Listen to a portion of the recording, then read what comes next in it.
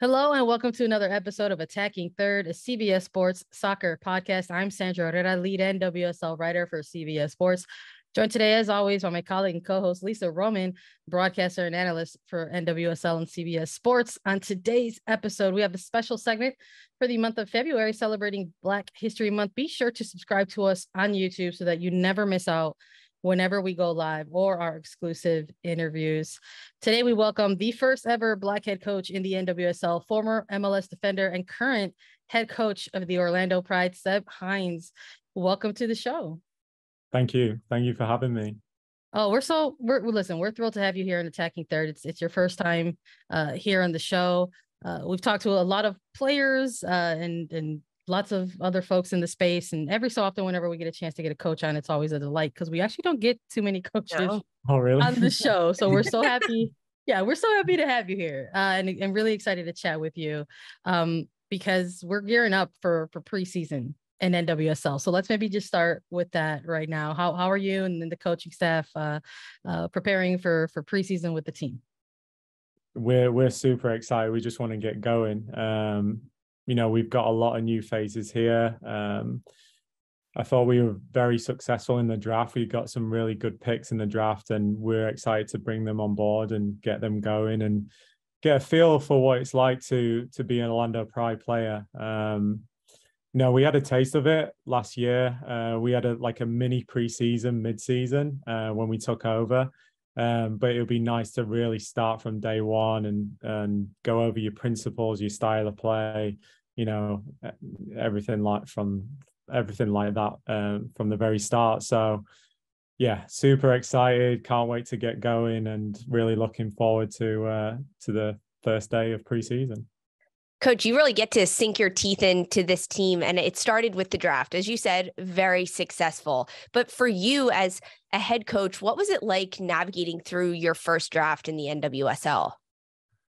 So yeah, head coach role was a little bit different. Um, you know, you obviously have more say in in your recruitment uh, strategy, but overall, we knew areas of uh, and positions that we need to improve on. We and areas that we needed to fill positions uh, within the team, and you know, we were re- really happy. We managed to cover every position other than the goalkeeper position. Um, and a lot of the players uh, that we identified you know they, they've had success in the collegiate level. Can they now take it into the professional level and uh, really challenge themselves and test themselves against some of the best players in the world I want to ask about one of your draft picks because there were five that Orlando was able to grab in the NWSL draft. But number three overall, it was defender Emily Madril, and she's going to Orlando. This was huge for her, huge for her family. She's formerly in Florida State University. What drew you to a player like Emily Madril? Um, I think since I started uh, working with the Pride, I've always identified Emily as a as a top talent, a top player. Um, you know, preseason we we'd always scrimmage against FSU, and she was always one that stood out. Um, being a local player as well, you know, having them ties to Florida, I think is important. It also gives a pathway to uh, young players who are in this area that is possible to go all the way to pro. Um, so, you know, she's a she's a great person. She's a great professional already. She's already had experience from going to Sweden and and being in a professional environment and and she's ready. She's ready for the challenge of the NWSL um so again I think on behalf of the whole organization we're really pleased to get a player like Emily Emily Madril here uh, Orlando Pride it's so cool to sort of hear how you've been navigating these these early months and early weeks uh, as a as a head coach. With your with your recent promotion as as the head coach of the team you you made a bit of, history the as the first ever black head coach in the NWSL and uh, here in the United States the country preparing to celebrate Black History Month in, in February. But for you what is what does it mean to you personally to sort of break that kind of barrier here in the league?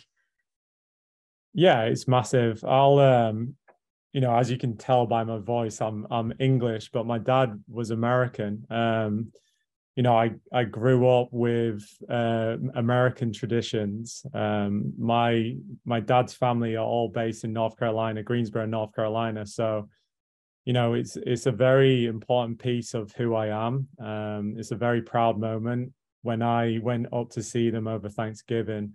You know, it's great to to see you know my family and what they've what they've been through and what they've overcome over you know multiple uh, years. So for me to be the first black head coach in the NWSL was a, a really proud moment for myself and my family. So yeah, um, I'm truly grateful for not only the opportunity but to also um, set uh, some history.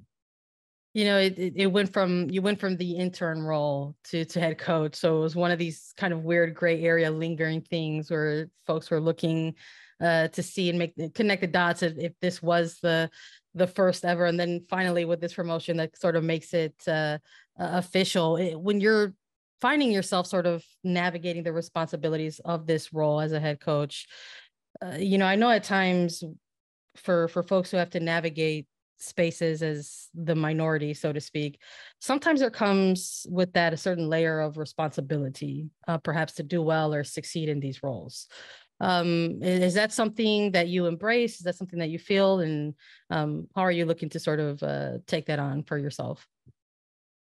Yeah, uh, I think you said it there. Anytime you step into a head coach's role, you know, there's a there's a level of responsibility and leadership and also like you know setting a pathway for others uh, i think that's really important as i take this role that you know i'm always going to do it to the best of my ability and you know we talk about you know you know setting pathways as players um, and using that as a, a motivator. Um, I think now with me in this position it is is a big responsibility, but I also want other other coaches to know that it is possible. And you know, when you get that opportunity, you you, you have to take it. Um, and the more exposure, the more opportunity that we're given to more minority coaches, um, I'm I'm sure everyone will succeed uh, in in that position and that's what that's what I'm here to do. I'm I'm here to succeed and and bring the best out of Orlando Pride and bring the best out of the players, the staff that are around me. You know, everything that we do, we want to do to the best of our ability. So I'm I'm really excited to to be given this opportunity, and I'm, I I won't take it lightly. I'm I'm gonna be working countless hours. Trust me, I'll be working so hard. It sounds like you maybe already have. It's the off season. Are you still are you putting in overtime already? Yeah, yeah. Uh, I might need to use my PTO or something. PTO, but, clocking yeah. it in before preseason even starts. uh, no, but I I love it. Like this this is a game that I've grew up with. I've is I don't know anything else. I've played the game, you know, since I was seven years old. I've you know I've gone all the way to the highest level as a player. Now, you know, I'm in this uh, uh, position now as a head coach, coaching at the highest level. So I, it's not something that I take lightly. I understand my position, and I really want to bring success to Orlando Pride because I've been here eight years. You know, three years as a player. I've I've been a, a um, a volunteer for two years with the Pride. I've worked my way up to this position now, and you know, I've I I really want to bring success to to this club. You have had a, a, journey to get to where you are right now, and that includes playing at the highest level professionally. And, and then, as you just mentioned, being a volunteer, being an assistant, being an interim head coach, and now being a head coach. When you look back at all those various experiences and your stepping stones to get you where you are to here, what uh, of those experiences do you lean on now as a head coach?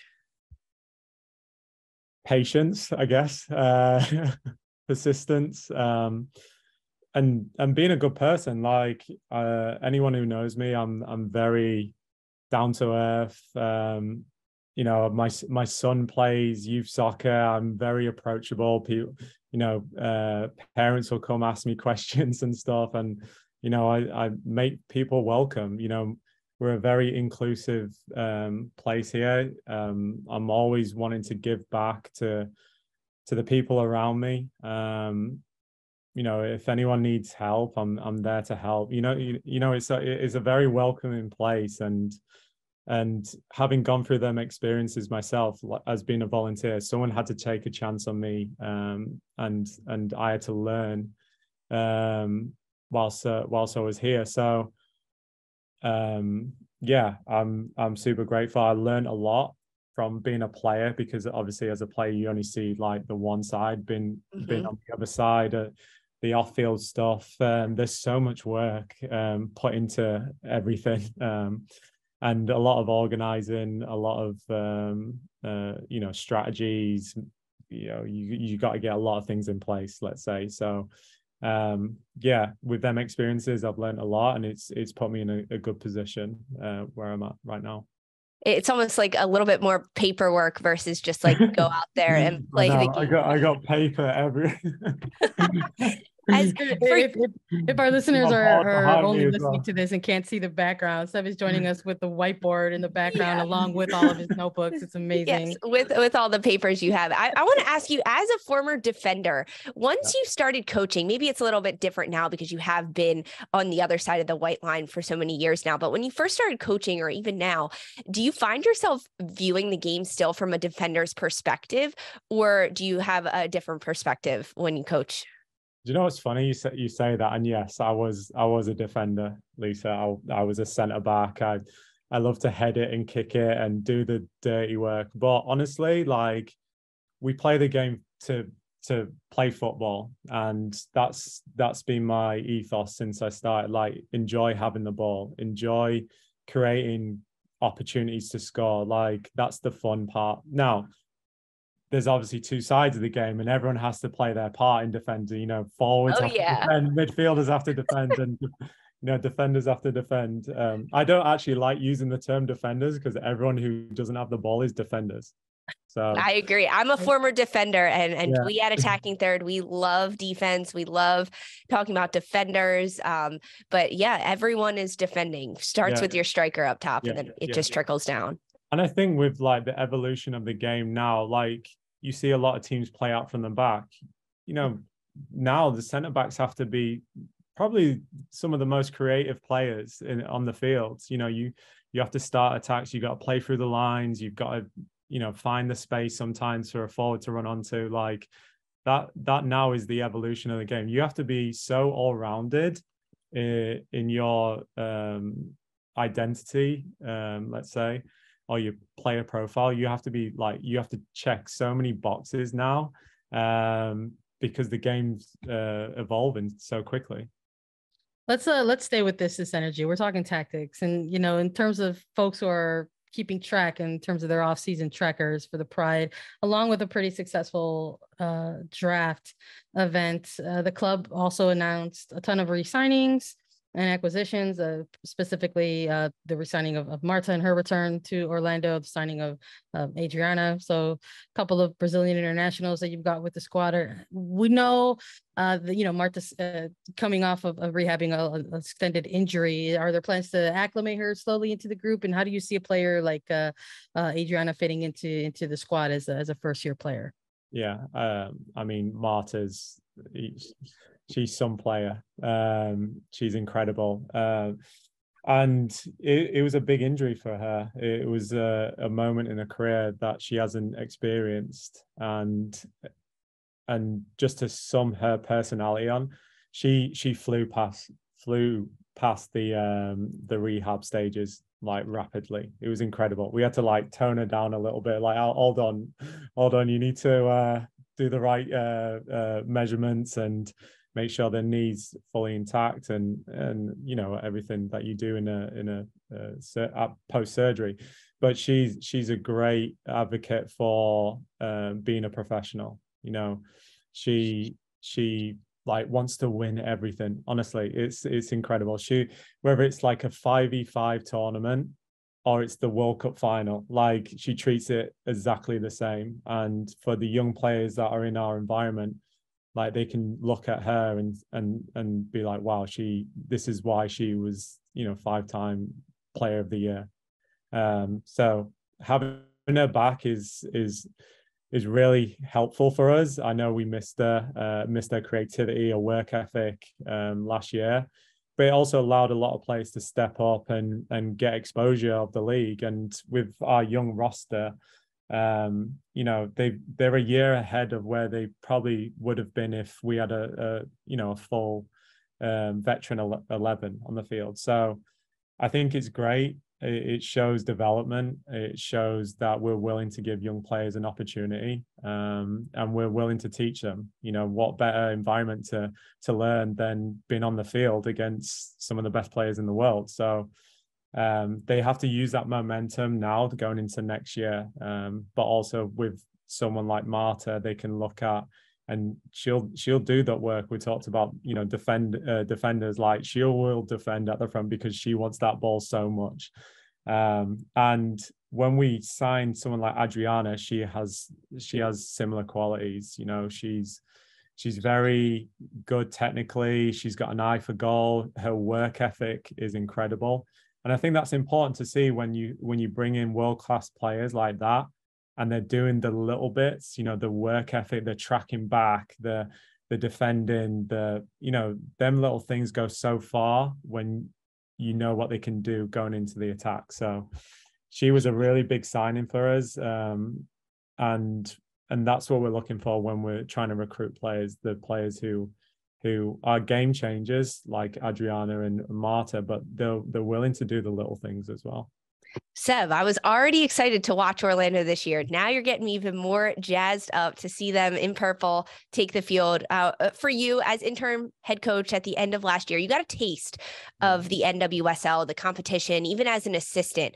But uh, now, with a full season ahead of you, you get to implement your tactics and what you want from day one, from recruiting these players, from drafting them, from signing new players it's a blank slate for you. What are you uh, and your main goals for this team in 2023 as you assemble them for preseason?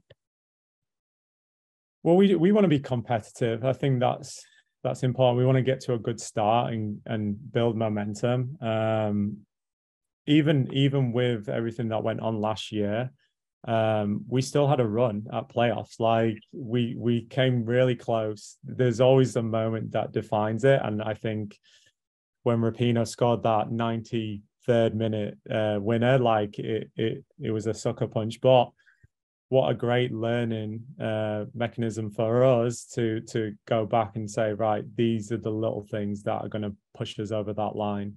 Um, back to the, your, your last question, you know, it was important that we uh, re-signed a lot of the players who were out of contract. Um, you know, having that that team cohesiveness, um, that team togetherness, and them leaving the season wanting more. They didn't actually want the season to end. They knew that they were onto something, you know, bigger and better. And this period, this off-season period, has been it's been long, um, and everyone's been itching to get back. So it was important that we we brought a lot of our players from last year back. We've obviously added some players as well, um, and yeah, like from day one, they know that it's going to be hard. It is going to be miserable in preseason. Um, but you know, it's getting past that mental barrier of like, okay, when you go into games, no one is going to give you three points. Like no one does that. Uh, this league is one of the most competitive leagues. Um, you have to earn respect. You have to earn your right to play, and that will be our message from day one is is that you you got earn everything that you that you get. Um winning's hard. It is hard.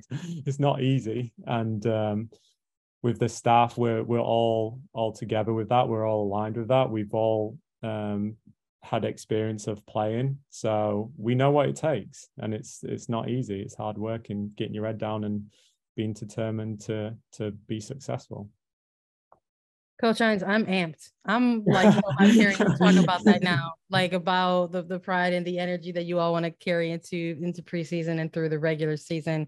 I'm replaying a lot of those um those games in my head right now during 2022 games that we had to recap on on attacking third and uh, how Orlando was not only kind of playing spoiler at times but going on that run and and sort of making everyone else kind of pump the brakes. Um, it's going to be exciting to see what the team uh, builds on uh, in 2023. You know, whenever we get, get towards the end of our interviews with with guests, uh, specifically players, we always like to get a little more personable, maybe ask some fun questions uh, with them. We'd like to do that with you to sort of close out. A lot of times we lean into the sort of uh, the routine of it all. Uh, players, if they have a go-to beverage, uh, sort of pre or post training, uh, what is their go-to sideline stack uh, if they have to have something uh, to keep them going throughout the game. And we're going to pitch you the the same questions. Is there right. something that you go to, even if it's just for come, even if it's just for comfort, um, to sort of have as part of your routine that you uh, is your first choice?